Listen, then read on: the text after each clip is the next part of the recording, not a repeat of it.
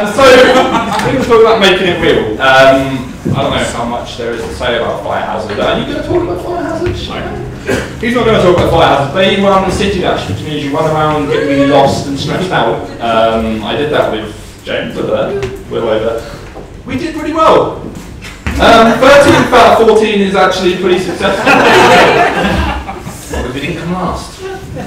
Um, so anyway, I'm going to let them talk about bringing these games to real life now, and this is the part where you clap really loudly and I hand the mic over.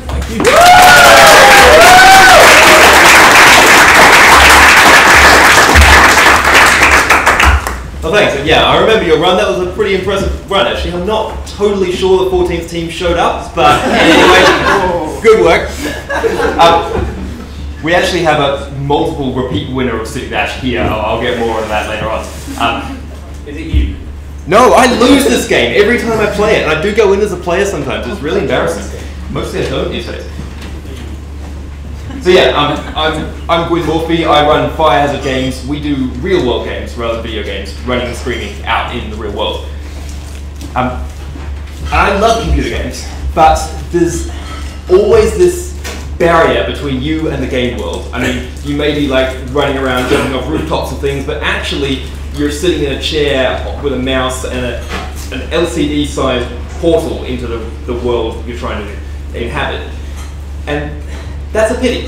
There's lots of ways to solve this. One of them uh, you heard Rob talking about in the first talk, which is that you use some really specialist, impressive hardware to drag the player into the game world. You, you put a mask on them, eventually we'll start doing things with gloves and things or whatever, and, and bring them into the world. That's one way to do it, and it's a really cool way to do it, and it's getting there.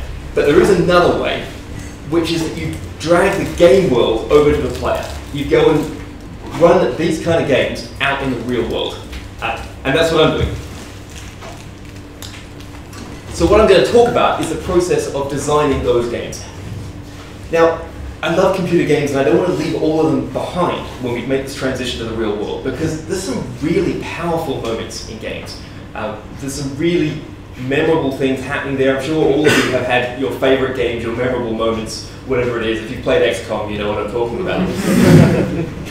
um, so I want to try and keep that, particularly given that I'm trying to make accessible games, things people can get into really quickly. To do that, you need recognizable moments. You, you haven't got sort of hours of, of backstory or character building or things like that. You need to drag people in, which means they need to be able to recognize very quickly what's going on. So we've got this great source in video games and to some extent in movies of really powerful, memorable, recognizable moments. Let's translate those into the real world so that we can get rid of that barrier between the player and the game world and, and make them the heroes over here. So I'm going to talk about the, the process of translating from those moments into real world games. Uh, this is one of my favorites. The, um, this particular moment, I actually first encountered it in the movie Reservoir Dogs. Uh, I'm sure you'll all be familiar with this. All right, let me just say this out loud because I want to get this straight in my head. You're saying that Mr. Blonde was going to kill you, and then when we got back, he was going to kill us, take the satchel of diamonds, and scram. I'm right about that, right? That's correct. That's your story? I swear on my mother's a And you know how this is going to end. Uh, okay, so that's the, the movie version. That moment's been recreated in computer games, uh, in a few, but this is Red Dead Redemption. Prepare yourselves. Draw. That was cool. so let's try and make that in the real world uh, without killing anyone. or everybody in the, the case of, of Reservoir Dogs. Um, so the process for making it real is this. First, think about what is it exactly that we want to create? What is the essence of that moment? And for me, particularly in the, the Reservoir Dogs scene, the essence of it is that actually nobody wants to kill anybody. Like, they start off with the, they're genuinely trying to sort this out with a conversation. Nobody wants to pull a gun. Uh, everybody is aware that if anybody shoots, it's going to be lose-lose for everyone. That's really powerful. And that sense of escalating doom as emotions start to run higher, people start to lose control, people start taking irrevocable and, and incredibly destructive actions, like pulling a gun out makes you a target. Um, and then it all changes in about a second. You go from people standing around not doing very much to everybody is dead on the floor in about 24 frames. It's amazing. That is the essence of that mode. Same thing with Red Dead Redemption. You don't have all the arguing and the shouting at the start, but you've still got that incredibly dramatic scene where it, it's all resolved in about a second at the end of that. So that's what we want to create. We started testing some game designs that do this uh, in a format called Standoff. Uh, it's kind of similar to Cash and Guns, if you've played that. Um, Cash and Guns is great, but it's still it's not real time. Fundamentally, you're still turn based and you still know that you're going to pull a gun and you're going to fire. And I wanted to have a little bit more of an open world feel to it than that. I wanted sometimes people to be able to talk things out so you never really know if it's going to turn into a shootout or not. Which in Reservoir Dogs, you don't know until somebody pulls a trigger and then you're like, oh my god, ah. So the deal with standoff is okay, you're crims, you're sitting around a table, you're splitting up loot from your, your last job. Um, you've all got guns, but they're under your chairs to start with, because we're going to settle this with a conversation, right? You can reach for your gun whenever you like, and you can do it as slowly and subtly or as dramatically as you want. Uh, there's no turns. Gunfights are resolved in real time. So if you want to shoot someone, the way you do it is by shooting them. Uh, dying shots are allowed. So if you're holding your gun on someone and somebody shoots you, you're allowed to pull the trigger on your own gun as you go down. That's all. You can't re-aim, you can't do anything else. But that means it, that holding guns in a Mexican standoff actually has gameplay value. It's one of the things you want to do. Then to create that conversation, that argument at the start, uh, we give everybody hidden information. We tell some people that other people's guns are unloaded. We tell some people that the painting isn't worth anything, and so on. Uh, and we add a whole stack of time pressure because we say, all right, you guys have got somewhere between one and three minutes until the cops get here, and we're not telling you when that happens. Sometimes we play sirens in the background if we feel like stressing them out a bit more. Um, and it works. What happens, and these are photos from the playtest we did at Campfire uh, a few months back. Very, very lo-fi, obviously. I think our loot is, is candles and plastic turtles because that's what we had. Um, the turtles were worth five times as much as, anyway. Um, it starts off like this, right? Everybody is being very civilized, and in some of the rounds, because we did a lot of rounds of this, um, they actually sorted it out like gentlemen. They, they came to an amicable solution, nobody died, they split up the loot, and we went to the next round and I put some more pressure on to try to stop that happening again. but it was really cool to see that they had the option. But generally what happened is quite quickly, it starts to look like this. and generally once that has happened, you are a few seconds away from this. Mission accomplished it, it, makes that moment. It, it, you kind of feel like you're in Reservoir Dogs, and like Reservoir Dogs, most of the time you die. So, speaking of impending doom, this is another moment I really like. Um, and you'll encounter this in, well, a whole series of video games. Uh, I don't know if any of you remember the 1999 Alien vs. Predator on PC. Looked a bit like this. yeah, it was really dark and you couldn't see anything. Yeah. Okay. It was slightly brighter than that. Um, but what we have there, this is, I'm another victim, by the way, of, of building the presentation on the back and, and translating. Hence the fonts, not my choice either. Um, what we have there is a marine working his way through some reasonably dark, but not that dark tunnels, um, and headshotting aliens. No worries, uh, they never really get too close to him. Um, and the reason that it's working for him is that he was staying calm. If you stay calm in that game, you're basically okay. When I play it, it looks a bit more like this.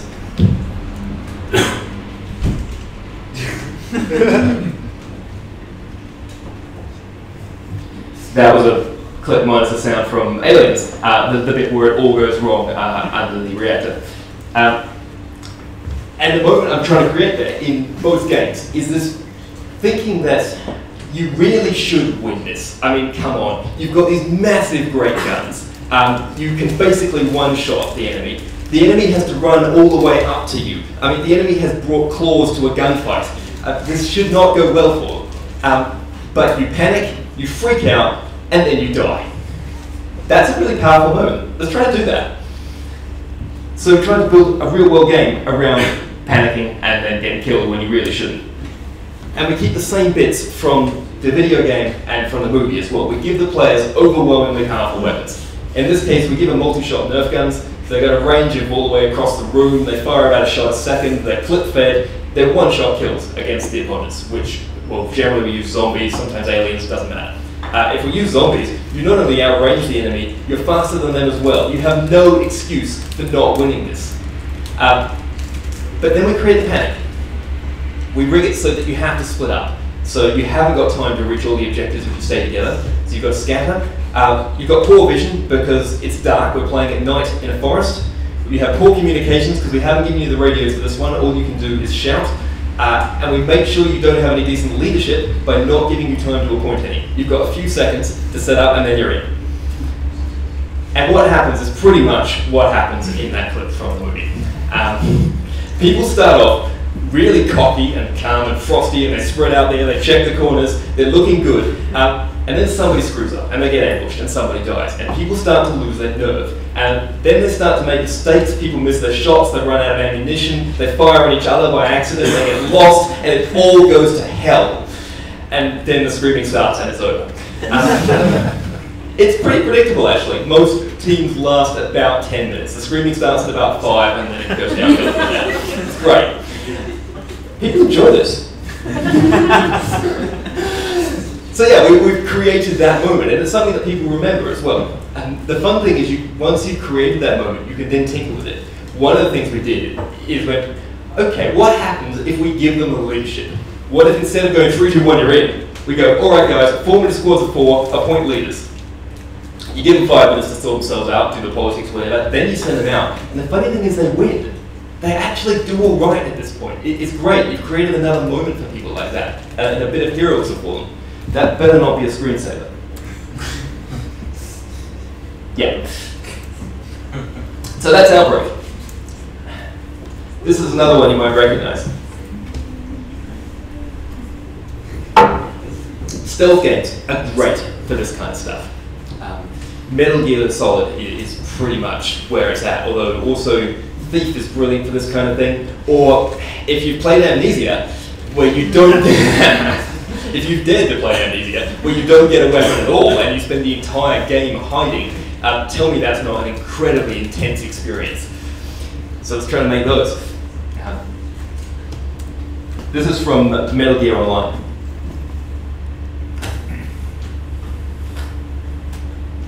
Well, he's being very quiet. Uh, but that was a sneaking along through a patrol and then a stealth takedown on one of the opponents. And now sneaking back around behind the enemy. There's a bunch of really cool mechanics in here. Um, the obvious ones are being pinned. So you're hidden under a table or something like that, uh, and an enemy patrol comes past, and maybe you're under that table and they are right here, whistling or smoking a cigarette or something like that, and you're just terrified for the, the couple of minutes it takes them to go away. That's a powerful scene. Or if you're, you're on the move, the other one is if you spot an enemy patrol route and then either distract the guard with the old soda can, oh, what was that? I better check it out. Um, or just timing it and then slipping through the patrol. That's an incredibly memorable moment for players as well. Um, or there's the stealth takedown, sneaking up behind someone who would normally you couldn't get anywhere near, taking them out from behind. Oh, or there's the oh shit, uh, which you saw in, in that clip there, where you think you're being stealthy, suddenly you realize you're not, and it all goes to hell very quickly. Uh, these are all moments we can create in real world games. So I use these mechanics a lot because I love them. Um, there's a few different formats. Um, so Heist and City Dash in a very different setup, but the same basic mechanic. The thing that really makes the stealth mechanic work is sight kills. So instead of your opponent needing to touch you, like an outbreak, or shoot you, or anything like that, they only have to see you. Turns out humans are quite good at seeing things. So this is an incredibly powerful attack. Um, so really the problem then is balancing it. Actually, people suck at stealth, except for those guys. More on that soon. Um, and so you've got to balance it out. Um, the way you do that really is not so much with mechanics as in just ridiculously unbalancing the game to start with. So you don't have many guards, you have a lot of players. And then you, you brief the guards as well. For heist, we have to do this. We make them slow and predictable. We basically tell them, be the worst computer AI you've ever seen. if, if a can lands over there, you go, oh, what was that noise? it was probably nothing.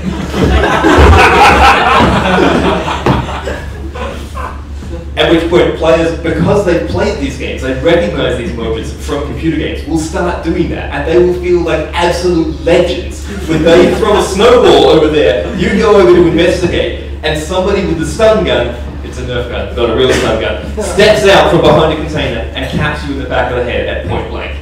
And then as a guard, you spend the next five minutes lying on the ground, actually in the snow in this case. But the player feels like an absolute hero, and it's brilliant. You've made that moment for them. There's a lot of actor skill in this one, much more than in the other mechanics, um, because you have to use your peripheral vision to work out where the players actually are, so that you don't walk onto them. You, you figure out where they are, and then you work out a patrol route that will take you past them in such a way that if they're really good, they'll dodge you, and if they screw it up, they'll be obvious and you'll spot them. Because the important thing is that if you do, well, if they see you see them, then you've got to spot them. Because we're not scripting this, we're not making cutscenes, we're making games. People's actions have to have consequences, and if you start scripting it, players will figure that out very fast, uh, and then they're not in the game world they're. So you have to balance between making it actually possible and making it genuine. Um, I've actually had some people genuinely escape me, where I, I literally had no idea they were there at all, and they told me afterwards, and that's always brilliant. That makes the moment for the player and also for the guards. I had one where the photographer saw the player sneaking past me, and I didn't see them either. But then again, I'm not that good at this game. so it's actually really hard to get footage of this. Um, I hope the sound works for this one, uh, because we're trying not to see people. Uh, but this is the headcam on Team Super Awesome Dragon Fireball, who've won City Dash about five times in a row now, uh, timing a patrol route and slipping past it. Yeah, here we go. Yep.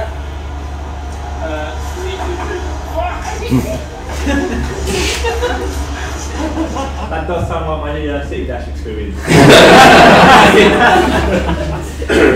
Yeah, that the second moment was, was that oh god we've been spotted moment I was telling you about. Uh, we didn't script that, but we set up a situation that I was hoping it was going to happen, which is that we had a slow checkpoint in a phone box you had to make a phone call from there, um, and that there was a guard patrol around that phone box. And so if the team screws up and doesn't bother to figure out where the gun is before they go in, they get busted.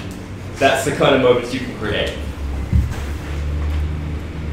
So that's some of the stuff I've been playing with. There's a lot more things I want to make games out of. Um, Left 4 Dead's rescue mechanics are great for this. Um, if you're not familiar with Left 4 Dead, the, the core mechanic here is a, you're a four-player co-op against about 100 million zombies. Um, but a lot of the zombies have special powers and can paralyze one of your team members. Effectively, you get down, and if you're not rescued quite quickly, you die. Uh, so you're constantly having to make decisions about well, do we risk everything to go back and save that guy, or do we leave him to his stupid fate because he shouldn't have wandered off like that and go and finish the mission? Um, either way, those are decisions players remember, and you can put those into to real-world games quite easily. Uh, we do it with one where we have an enemy that can only knock you down; it can't actually transform you. Other players can come and rescue you, or if they don't, and you end up sitting there for long enough, you get bored, then you change sides. So there's an incentive to go and get people, otherwise you're going to be facing them later, but you don't have to. There's also the document handovers from um, one of the Bourne movies, uh, which I'm currently turning into a game called Undercover, about stealthily uh, passing documents around. There's the ransom sequence in Dirty Harry, which is just brilliant, and as soon as I find enough working payphones in a row, I'm going to build that. it's getting harder and harder. Um, and then there's self-sacrifice and, and heroism mechanics from almost any game. Um, players love these kind of things. The, the life or death decisions, the things that let you feel incredibly powerful, where you make a, a difference in the game. And they're all over video games. And all you've got to do is spot those moments, ideally ones players are familiar with, uh, and then figure out the core mechanics and bring them into a real world game. And if you do this, players will absolutely love you for it. It's what they're there to do. They want to feel larger than life. They want to feel like heroes. And if you can do that for them in the real world, that's a, a massive win. So yeah, that's what I'm doing at the moment. Um, I would love to hear thoughts, feedback, comments, things like that. That's where you can find me, whether you want to play or want to come and make games, or even just you've had an incredibly memorable moment in a video game and you want to see if we can turn that to the real world. I'd, I'd love to hear about that stuff. Uh, in the meantime, I've probably got some time. Does anyone have any questions? Yo. Um, you've spoken a lot about what live games can learn from films and video games. I know there's a lot of game developers in the audience. What can they learn from live games? Hmm. Um, live games, I think, are, are quite a new genre at the moment. So I, I would hesitate to try to teach video games too much. They've got done some incredible developments in, in story and characterization and things like that. Um, what you- I get from live games is because you're actually there, all the experiences get much more intense, and there's social experiences as well. What we're trying to do is create stories that people will tell afterwards. Um, and people aren't telling them because they, they can tell other people who are there. A lot of my intense video game experiences, like if I got to be up here and talk to you for 10 minutes about all the shit that's happened to me in XCOM, you would probably find that really boring. Live games, that's less of an issue. So I think video games, well, particularly this move towards co-op, particularly multiplayer co-op, I think is brilliant. That's what creates those kind of bonds. Yo. Um, I really enjoyed that. Thank you. Um, I f- it's interesting that it's uh, that you have a lot of kind of urban-based things. Have you run anything or thought about running anything in like a forest or a rural environment? Because it might be that humans end up being more able or less able to hide like in a in a forest than they would be on the street. I'm just curious whether you run anything. So we do a, a series of night games up on, well, previously Hampstead Heath. We're probably going to have to move over to Epping Forest, which does that. That must be terrifying.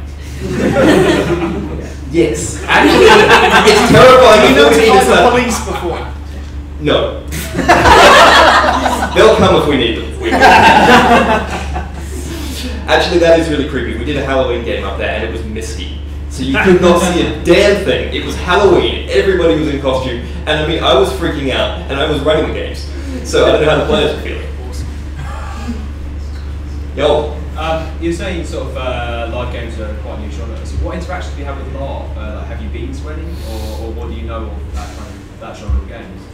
Good call, actually, because LARP's been around for a long time. Um, I've played a little bit of it. I'm in a slightly different space, so I don't know much about LARP because I'm. One of the things I really like about computer games is they're accessible. I can come home, flop on the couch, and play for an hour or something like that. LARP to me seems like it's much more of an investment because you have persistent characters and persistent worlds generally.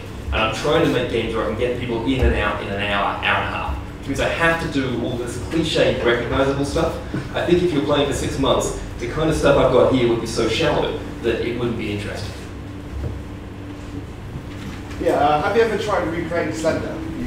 Recreating what? Slender, the game Slender. You know Slender? Where you have to. No. You're in a forest and you have to collect eight pages. There is a Slender.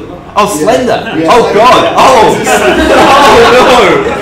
oh, no! I was I was in, in the forest deep and we tried recreating Slender where uh, the guy who plays Slender Man was essentially wearing black and he was the only one who had night vision goggles he got that was it. And we it was a group of four of us in the forest deep and we put eight pages in that circle of area. Only the Slender Man knew where these pages was. and we all, we all had we all had flashlights, but of course the guy who was essentially DMing the entire experience put faulty batteries in all the flashlights. and uh, I think I believe I think I was the last one to sort of survive. But could you kind of have you ever tried doing something like that? We're doing this tomorrow.